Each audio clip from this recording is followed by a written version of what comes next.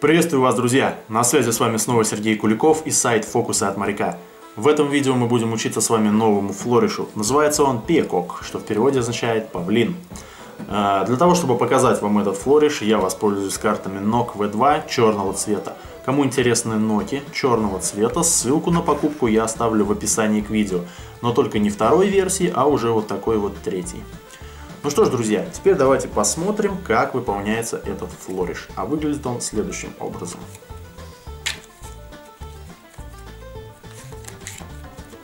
Еще раз.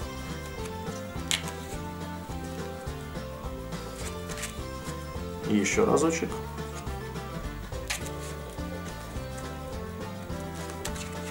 Ну и еще разочек.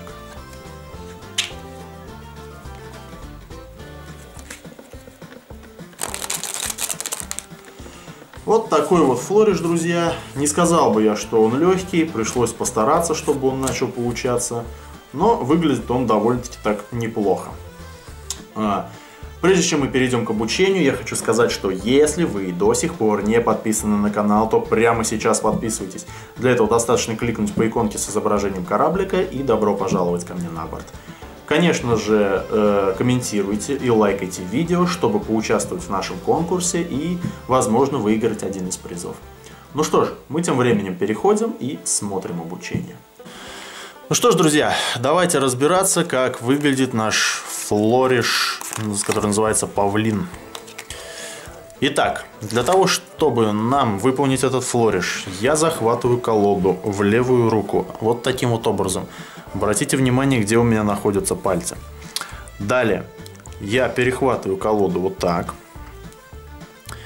И подношу, подношу большой палец к одному углу, а средний кладу на другой угол. И отрываю примерно где-то вот одну пятую колоды.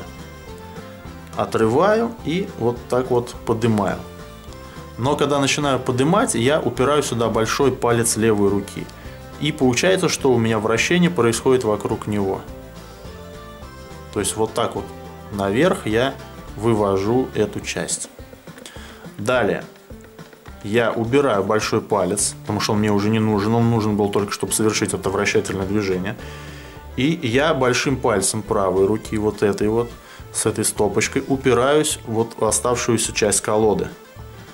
И поднимаю примерно половину оставшейся стопки. Поднимаю вот так вот ее вверх. То есть я вот так вот ее вверх поднял. Она, обратите внимание, у меня держится на указательном пальце левой руки и на большом пальце правой руки. Оставшимися пальцами, то есть безымянным, средним и мизинцем, я поднимаю эту часть наверх, сюда. И эту часть опускаю сюда вниз. Далее я возвращаю эту колоду вот сюда, эту часть колоды. То есть она у меня была вот так вот наверху, да, я ее держал. Я указательным пальцем ее вот так вот проворачиваю. Так, давайте-ка по новой. То есть я захватываю одну пятую часть, вращаю ее вокруг большого пальца, большой палец убираю, поднимаю эту сторону, половинку, оставшимися картами поднимаю эту половину, опускаю сюда, указательным проворачиваю полностью эту верхнюю стопочку, проворачиваю до тех пор, пока у меня указательный не оказывается вот так вот за этой стопкой. Ставлю ее сюда. Обратите внимание, она не вся у меня там стоит, не полностью, а примерно наполовину. Вот так вот она у меня стоит. Далее, перед тем, как захлопнуть эту книжку, я начинаю, опять же, указательным пальцем вращать. То есть, посмотрите, у меня эта стопочка упирается прям вот, вот таким вот образом на ладонь. То есть я начинаю ее вращать. Вот так вот захватываю, обратите внимание, указательным и средним пальцем. Захватываю и сразу же с этого положения перехватываю, э, указ средний у меня уходит, перехватывает большой палец, вот инициативу, да, и сразу же делается веер. Делается веер, то есть привычным нам всем способом, как мы держим колоду и вот так вот делаем веер, да. Потом мы делаем обратный веер. То есть как делается обратный веер? То есть мы делаем этот веер сюда, привычный уже нам всем, а обратный мы делаем вот пальцами уже указателем и средним скользим вот в эту сторону. То есть получается раз, два. То есть мы делаем вот так вот. Раз, два. Так вот. Раз, два. Еще разочек. Раз, два. После чего из этого положения я делаю вольт шарлье, складываю этот веер и кладу его сюда. И накрываю этой частью. Вот, собственно, и все. Вот таким вот образом выполняется наш флориш павлин. Давайте еще разочек пробежимся. Значит, поднимаю одну пятую часть, вращаю ее вокруг большого пальца, Большим пальцем подхватываю примерно половину колоды оставшейся. И упирая в средний палец левой руки, ее вот так вот поднимаю.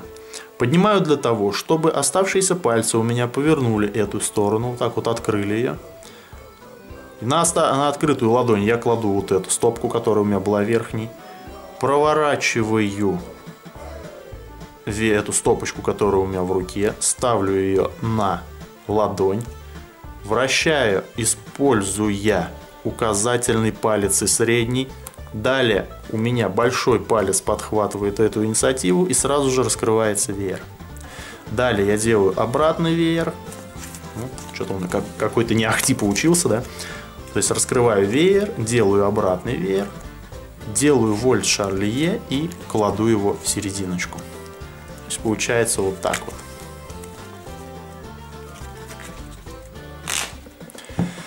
Ну что ж, друзья, на этом, собственно, все. Думаю, объяснение все понятное, так как каждое движение, в принципе, я вам показал.